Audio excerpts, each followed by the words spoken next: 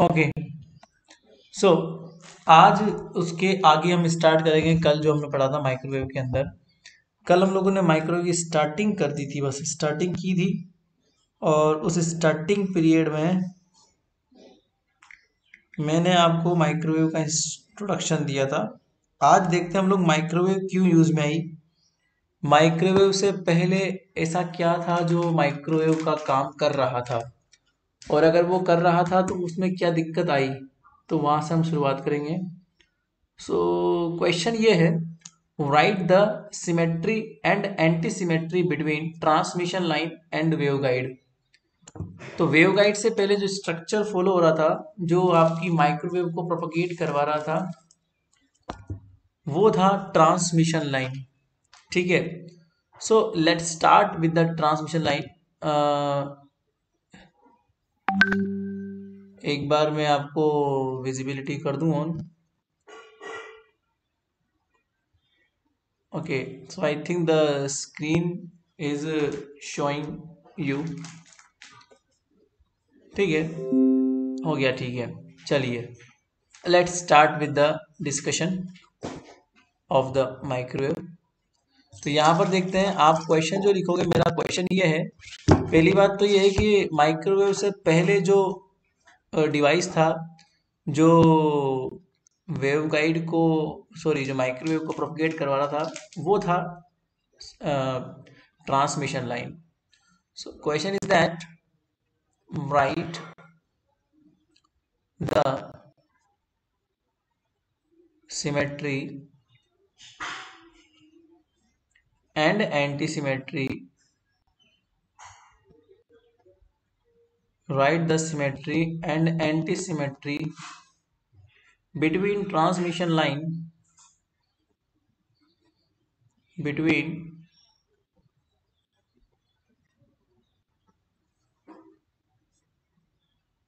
transmission line and waveguide है ना हम लोग पढ़ने जा रहे हैं waveguide but waveguide जो आपकी यूनिट है, उसको स्टार्ट करने से पहले ये तो बताओ कि वेव गाइड आई क्यों थी और इससे पहले क्या था? ट्रांसमिशन लाइन था जो माइक्रोवेव को प्रोपोगेट करवाता था। अब इनमें समानताएँ व असमानताएँ आपको दिखानी है। ठीक है ना? तो जो हम लोग इसका सॉल्यूशन देंगे, उसके अंदर पहले हम दिखाएँगे सिमेट्रीज मतलब कि सिमिलरीज मतलब सिमिलरिटीज जो भी समानताएँ हैं वो सब। तो पहले हम लिखते हैं सिमिलरीज सिमी सिमिलरिटीज सिमिलरिटीज जो इनमें समानताएँ पहले वो दिखा देते हैं मतलब सिमेट्रिसिटीज जो भी है। दोनों में जो समानता है वो क्या है? नंबर, पहली समानता wave travelling in waveguide wave travelling in waveguide मतलब वेव गाइड में जो वेव ट्रेवल करती है like microwave in wave guide. इसको मैं शॉर्ट में डब्ल्यू जी लिख दूँगा आपकी बार बार बार लिखना नहीं पड़ेगा मुझे, वेव गाइड है ना? तुम लोग एग्ज़ाम में डब्ल्यू जी मत लिखिए ना, है ना? Waveguide has a phase velocity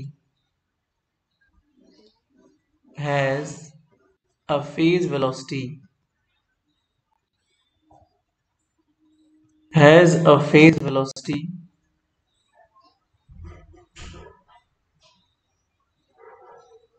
and will attenuated, and will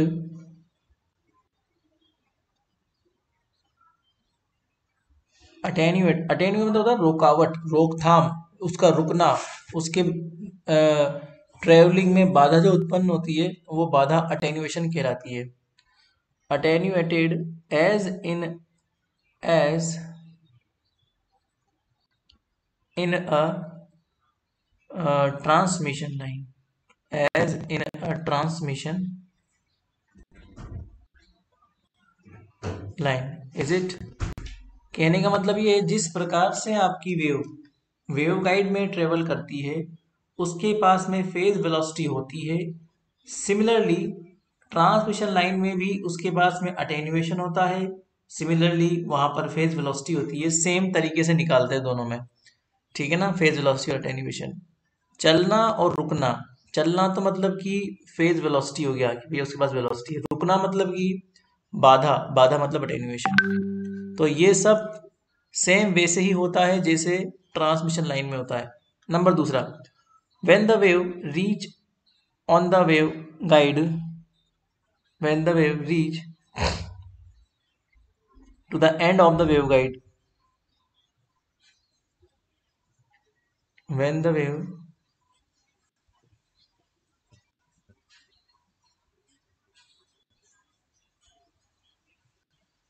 reach to the end of the waveguide जब आपकी वेव वेव गाइड के अंत में पहुँच जाती है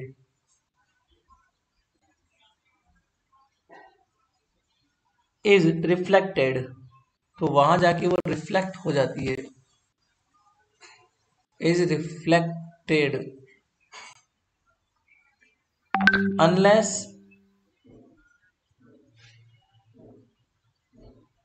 unless the load impedance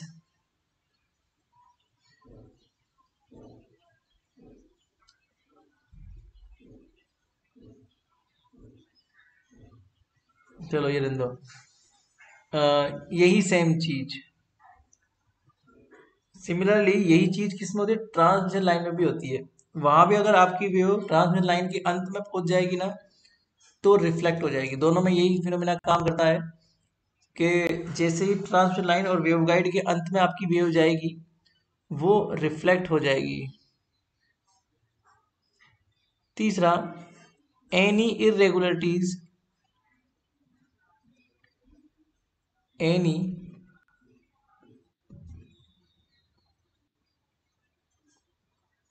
irregularities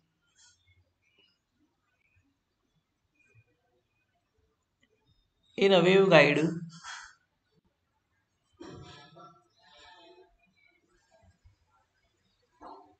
in a waveguide provided reflection provided reflection just like a irregularities just like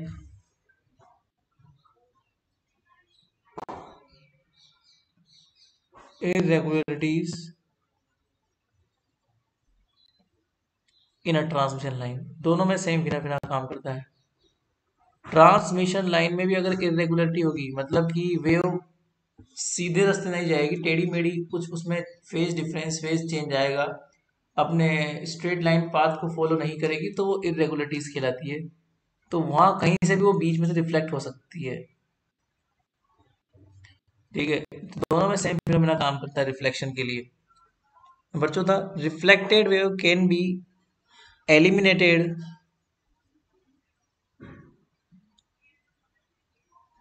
reflected wave.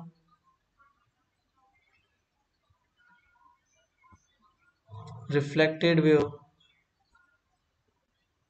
can be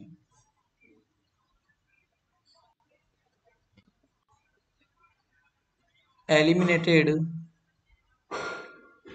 by property of impedance matching by property of impedance matching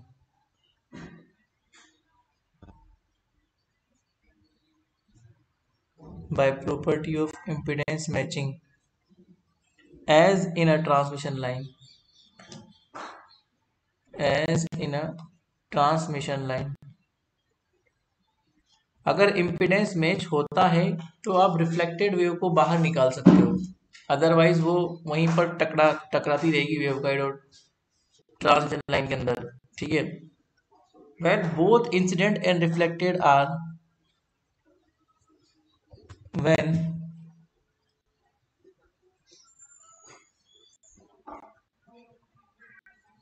both incident and reflected are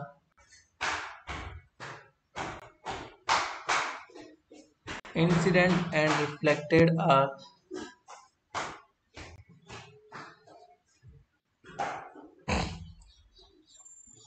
present in a waveguide.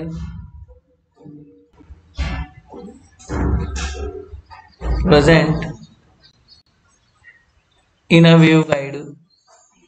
Waveguide में अगर दोनों तरह की wave हो reflected और incident जैसे मान लो ये वेवगाइड है, इसमें एक वेव इंसिडेंट है, फिर वही वेव रिफ्लेक्टेड भी हो गई तो इनमें क्या हो गया? सुपर पोजिशन हो गया। तो ये स्टैंडिंग वेव बन जाएगी। स्टैंडिंग वेव होती है ऐसी वेव जो अपनी एनर्जी को आगे फॉरवर्ड नहीं करती है, उसे स्टैंडिंग वेव बोलते हैं। वो किसी रीजन में कन्फाइंड होती है। ऐसी वेव जिसकी एनर्जी ट्रांसमिट नहीं होती है, किसी लिमिटेड वैल्यू के बाद, वो किसी रीजन में कन्फाइंड होती है, उसे स्टैंडिंग वेव बोलते हैं। जैसे मान लो एक लड़की है, यहाँ पर रस्सी पकड़ के खड़ी हुई है, एक दूसरी लड़की है, वो यहाँ पे रस्सी पकड़ के खड़ी हुई है। ये उनके बीच में रस्सी है एक लड़की ने झंकार दिया रस्सी में वो झंकार जाएगा दूसरी लड़की के पास। उसके हाथ से वेव रिफ्लेक्ट होके पहली लड़की के पास जाएगा। फिर यहाँ से रिफ्लेक्ट होके यहाँ जाएगा। तो ये एनर्जी इसी में कन्फाइंड है। तो रस्सी की जो वेव है, वो स्टैंडिंग वेव कहलाती है। ठीक है ना? ऐसा यहाँ पे होता है। तो present in a waveguide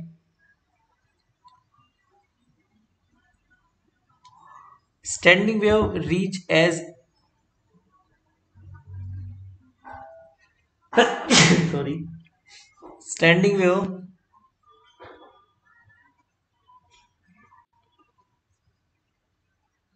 standing wave reach as in transmission line तो ट्रांसमिशन लाइन की तरह ही यहाँ भी ऐसा होता है। स्टैंडिंग वेव बनती है। As in transmission line okay is it now अब डिसिमिलरिटी की बात करते हैं। असमानताएँ है, क्या क्या थी इनमें दोनों में? तो नंबर दूसरा पॉइंट है डिसिमिलरिटीज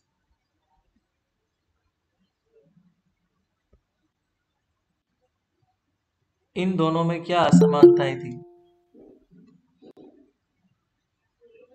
वेवगाइड में और ट्रांसमिशन लाइन के अंदर। कोई आया था क्या अभी?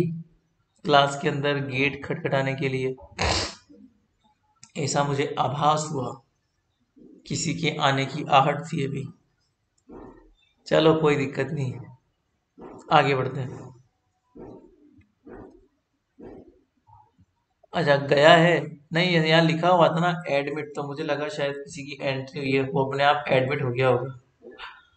क्लास के अंदर भी एडमिट होना पड़ता है। चलो।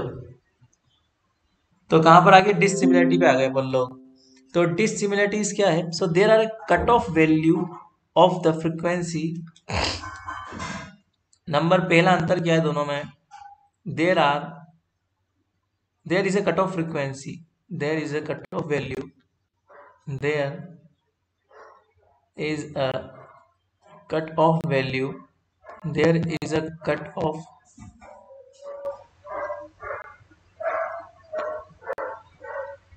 value for the frequency for the frequency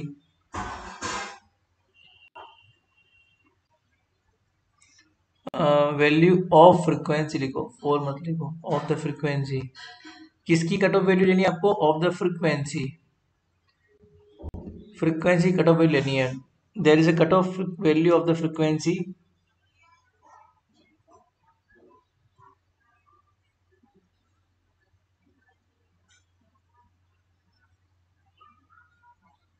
for the transmission for the transmission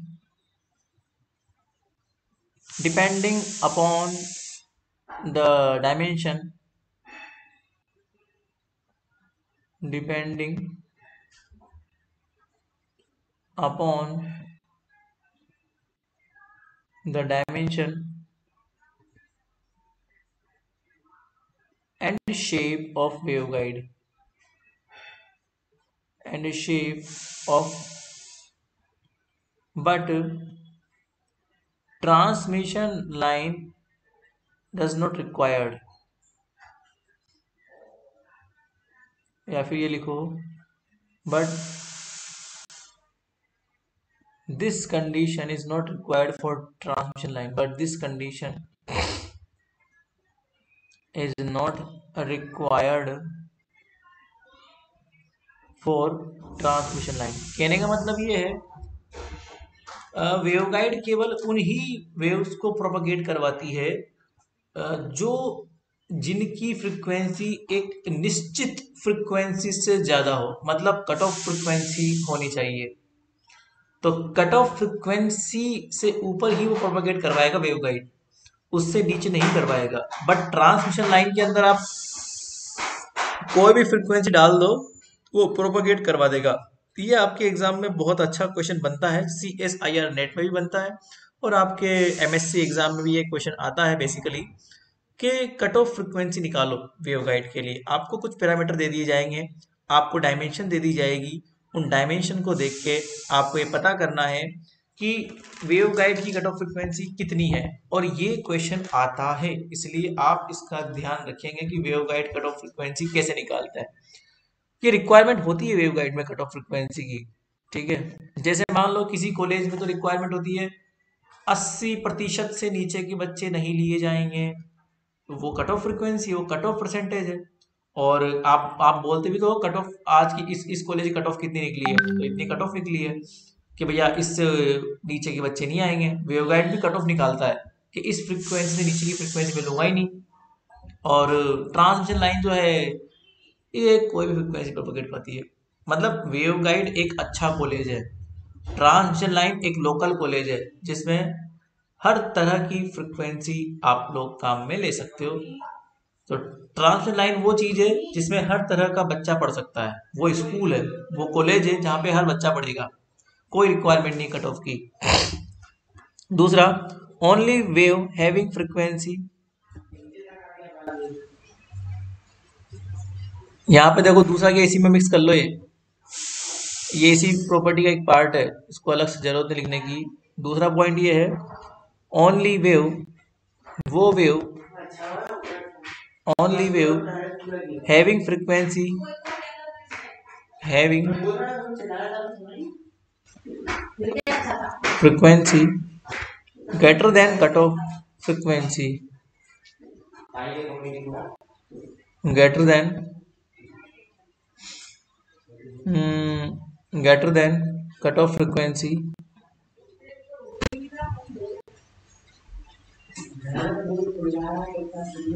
greater than cutoff frequency will be propagate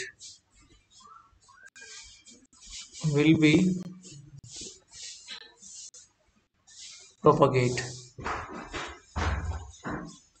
hence waveguide act as a Hence,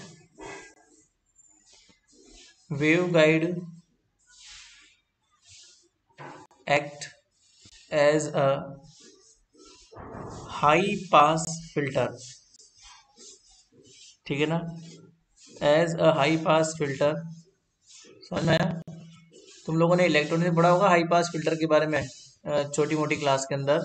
high pass filter electronics में एक वो device होता है, जो high frequency को पास करता है और लो फ्रिक्वेंसी को रोक देता है। मतलब कि हाई पास फ़िल्टर में एक निश्चित कट ऑफ़ फ्रिक्वेंसी से ज़्यादा की फ्रिक्वेंसी ही पास हो पाती है। उससे कम की फ्रिक्वेंसी पास नहीं होती है, उसे बोलते हैं हाई पास फ़िल्टर और आपका वेव गाइड भी ऐसा ही है। कि एक निश्चित फ्रिक्वेंसी से नीचे की फ्रिक्वेंसी जो है, उसको पास नहीं करता है, बाकी को पास कर देता है।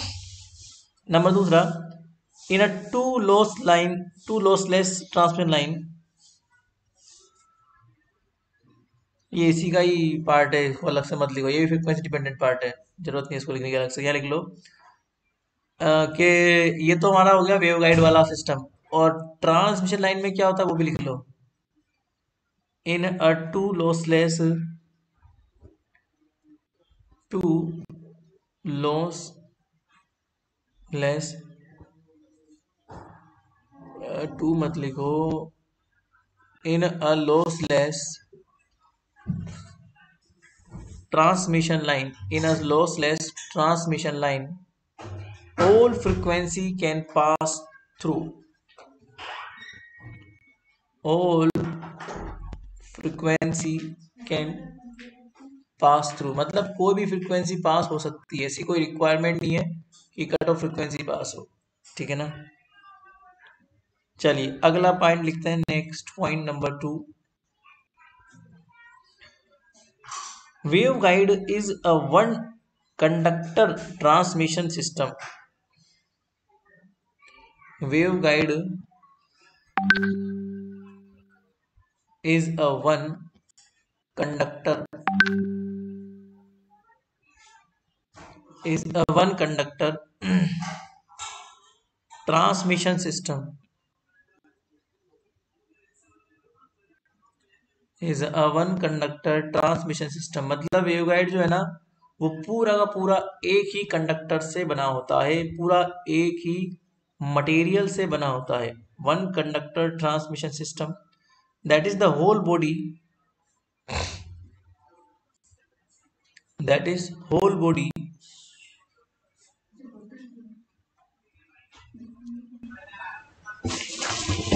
That is whole body.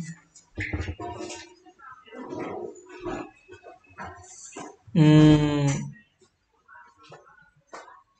of waveguide act as a grounded. That is the whole body of waveguide acts as a grounded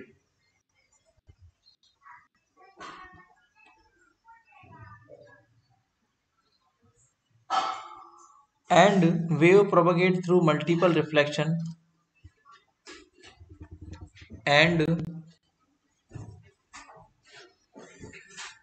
wave propagate और वेव गाइड के अंदर जो वेव होती है, वो प्रोपगेट करती है मल्टीपल रिफ्लेक्शन के through and wave propagate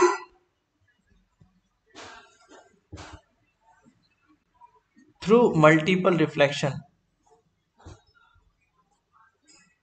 wave propagate through multiple reflection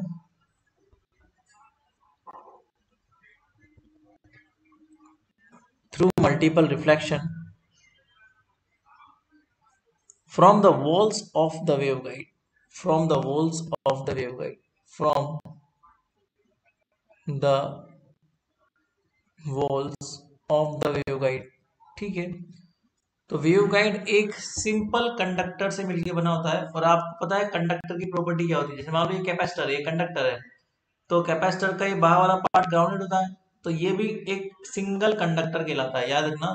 capacitor की दो प्लेटें मिलके एक कंडक्टिंग सिस्टम बनाती है और उसको अपन ग्राउंडेड भी करते हैं। ठीक उसी प्रकार से वेव गाइड भी एक, ऐसा है सिस्टम जिसमें सिंगल एक बॉडी होती है जो सिंगल मटेरियल की बनी होती है। ट्रांसजन लाइन में ऐसा नहीं होता। उसमें आप दो या दो से ज़्यादा मटेरियल यूज़ में ले सकते हो। ठीक है ना? और उसमें मल्टीपल रिफ्लेक्शन भी नहीं होता है, उसमें इतनी वॉल्स भी नहीं होती, वो सीधी होती है, एकदम स्ट्रेट होती है ट्रांसजन लाइन ठीक है? अगला ये है the velocity of propagation of the wave the velocity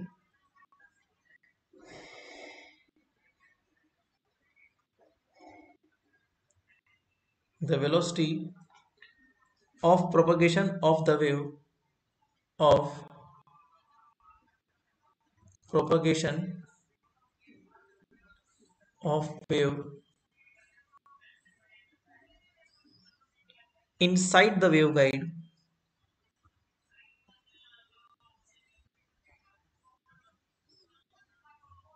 Inside the waveguide is quite different from that is quite different from that. Is quite different from that. Through full space through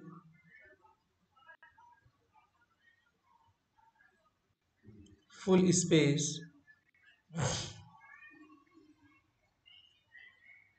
Due to multiple reflection,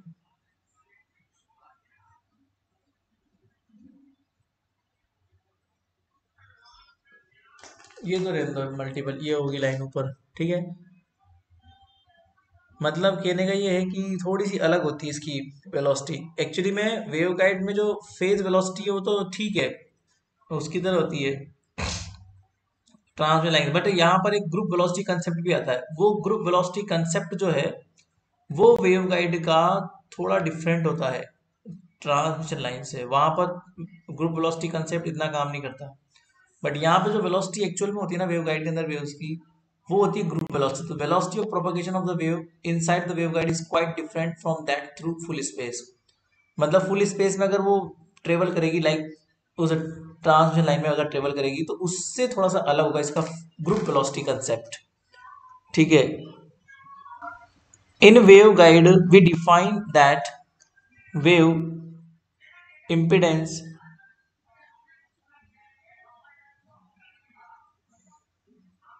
in waveguide we define that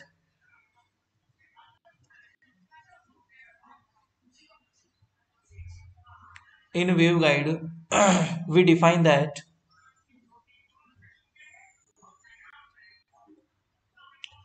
We define that. wave impedance. Wave impedance मतलब प्रतिबाधा. Wave impedance wave impedance which analogous to characteristic which analogous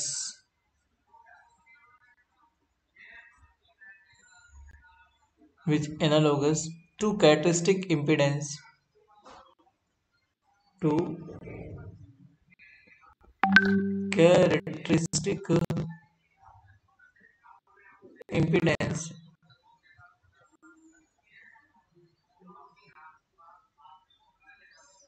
Of two transmission line of uh, of transmission line of transmission line. मतलब उसकी wave impedance भी कुछ अलग होती है transmission line से। ठीक है?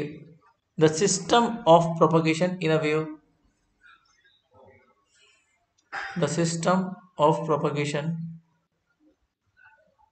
the system of propagation.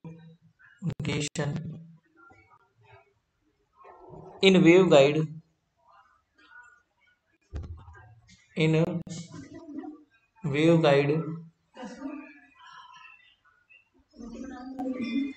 is according to field theory is according to field theory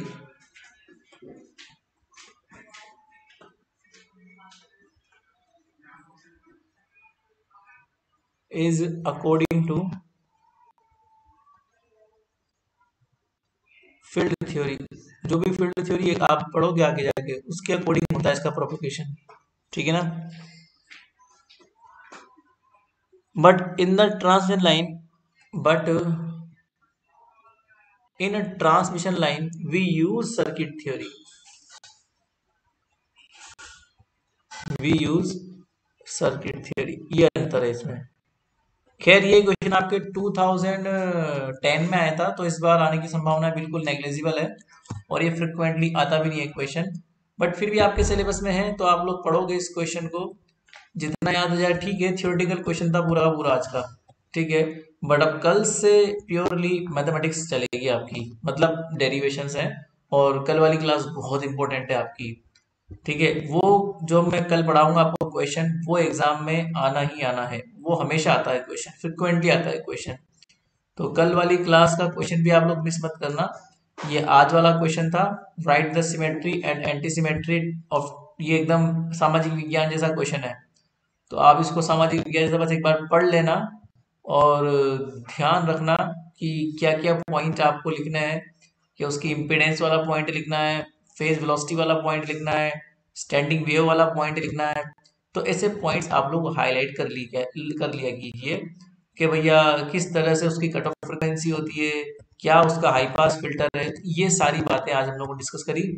अलग अलग प्रॉपर्टीज़ होती है अलग अलग सिस्टम की तो वो भी आप लोग ध्यान रखेंगे कि किसमें कितना इम्पिडेंस है, किसका क्या सिस्टम है। तो ये बातें हम लोगों को आज डिस्कस करनी थी। ये पहला क्वेश्चन था आपके सिलेबस का।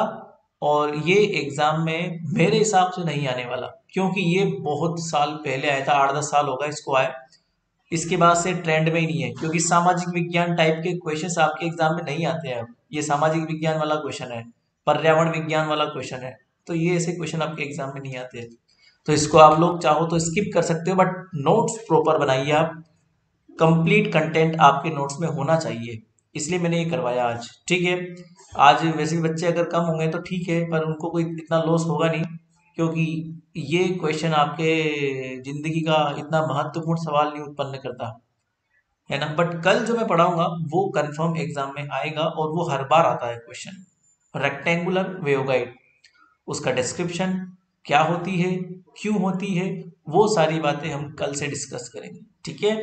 फ़िलहाल के लिए थैंक यू सो मच अभी मैं कॉलेज निकल रहा हूँ। तुम लोग भी रिवीजन करते रहो इसको और रेगुलरली इसको पढ़ते रहा करो, है ना? Okay bye bye